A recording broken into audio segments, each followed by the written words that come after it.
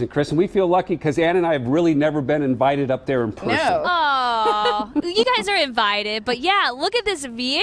Oh my gosh, it's tough to beat. The sun's going down. Of course, we're starting to lose the last little bit of daylight, but it has been spectacular. And of course, I'm layered up, but you don't really need to be. It feels so mild out here, too. And the best part of all, I think, is just looking at all the traffic and just being so glad that you're not stuck in it and you just get to enjoy this incredible view like this. There's a look at Mount St. Helens behind me. You can kind of still see it, a little bit of light on it. And then also um, Mount Hood, too, just looking glorious uh, this evening. If you saw this morning sunrise, it was even better. This is the time of year, and really over the next few days, we have the storm system that's just off the coast, is sending these clouds in where you can get these really, really awesome sunrise and sunsets full of color, and that's what we saw this morning. Not quite so for this evening. It was pretty, but not as spectacular as this. Take a look at that. Thanks to Shayna for sending in this picture of the sunrise in Parkrose, and we also have another one. Uh, this one just this morning. Uh, this one thanks to Evan. Please send us your pictures reported at koin.com and get out there again tomorrow morning. We're going to have these clouds around, so it could be extra special again tomorrow morning.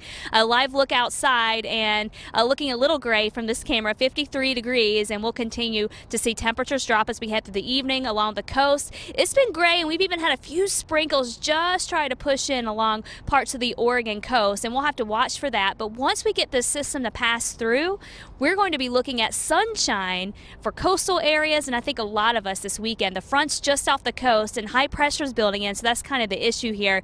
Is it's keeping that front kind of stalled back to our north and west. So occasionally you may get a sprinkler to reach the coastal areas, but most of the activity is staying off the coast and out over the waters, and even that will continue to stay back up to our north and west as it passes through uh, eventually Friday night and a Saturday. Your day planner for tonight: uh, temperatures at 50 degrees for 7 p.m. and then temperatures dipping down into the upper 40s. And we'll have to watch for fog to develop. I can already see a little haze out there, so definitely keep a close eye on that as it could really reduce visibilities. And so if you're driving out tomorrow morning, you'll want to check in and see what that's looking like because you know it can really back things up on the roads whenever those visibilities go down. And there will be that potential tonight for sure. Temperature wise, around the area in the low 50s, up and down the valley. Coastal areas too, central and east, very mild as well. Mount Hood Meadows, and uh, still trying to enjoy that fresh snow we got earlier this week. And we're going to see more nice days ahead. The freezing level at 10 to 12,000 feet. So if you head up, you won't need to dress too warmly. You'll still want to dress warm, but